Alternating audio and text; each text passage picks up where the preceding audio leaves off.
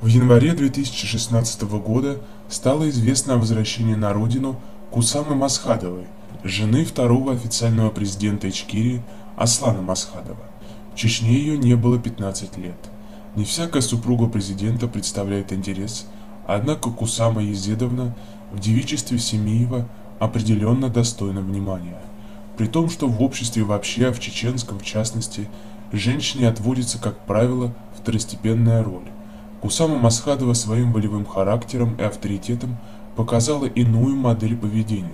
Когда в 1997 году Аслан Масхадов был избран президентом Чечни, Кусама также включилась в работу. Все решения, принятые относительно дальнейшего хода событий, в воюющей республике принимались в том числе и при ее участии. Излишне деятельную женщину называли за глаза не иначе как серым кардиналом, а при поиске аналогов в истории вспоминали Раису Максимовну Горбачеву, без которой последний генсек СССР не ступал ни шага. Отчасти уверенная позиция Кусамы обусловлена ее происхождением. Ее родственники представляют влиятельный тейп Гордолой, мнение которых Масхадов просто не мог игнорировать. От положения Кусамы в верхах зависело их благосостояние, складывающееся тогда в основном за счет безутечного трафика нефти. Кроме того, Кусама возглавила созданный Масхадовым благотворительный фонд «Маршо. Свобода». К 2000 году авторитет Аслана Масхадова в глазах боевиков и населения сильно упал. Усугубилось его положение еще и тем, что российские власти нашли себе опору в лице Ахмата Кадырова. Предприимчивая Кусама с целью вернуть мужу исходные позиции отправляется в сопровождении доверенных лиц в Грузию с намерением встретиться с президентом Шеварнаца и просить его стать посредником на переговорах между Масхадовым и российским руководством. О результатах этих намерений Кусамы сведений мало, однако известно, что власти Грузии после ее визитов оказали всяческую помощь ичкерийским лидерам, а также предоставили на своей территории места для размещения сепаратистов. Во время своей поездки в Грузию Кусама, пользуясь присутствием в Тбилиси главы ОБСЕ Бениты Феррера Вальднер, передала ей обращение мужа и документы о реальном положении дел в Чечне. Эти сведения потом будут учтены международными организациями, которые курировали чеченский вопрос. Результаты дипломатических предприятий Кусамы Масхадовой станут очевидными спустя время.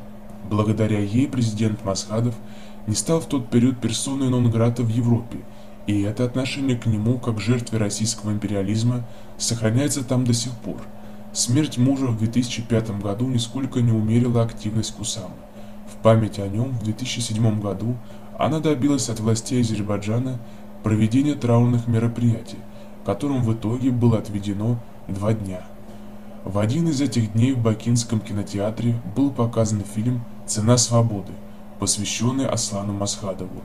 На собравшейся пресс-конференции, куда съехались многие авторитетные СМИ, Кусама произнесла речь с обвинениями в адрес России, спецслужбы которой похищают беженцев, находящихся на территории Азербайджана. Некоторых из них были попросту убиты.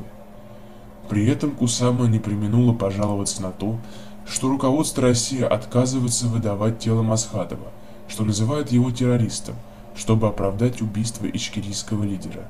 Присутствующие на пресс-конференции западной СМИ этот выпад Кусамы в адрес России подхватили, на что и был расчет, и разнесли по всей цивилизованной Европе.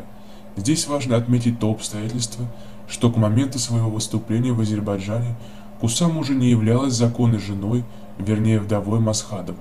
В 2002 супруги развелись, после чего Аслан сразу же женился на молодой чеченке, которая впоследствии родила ему дочь.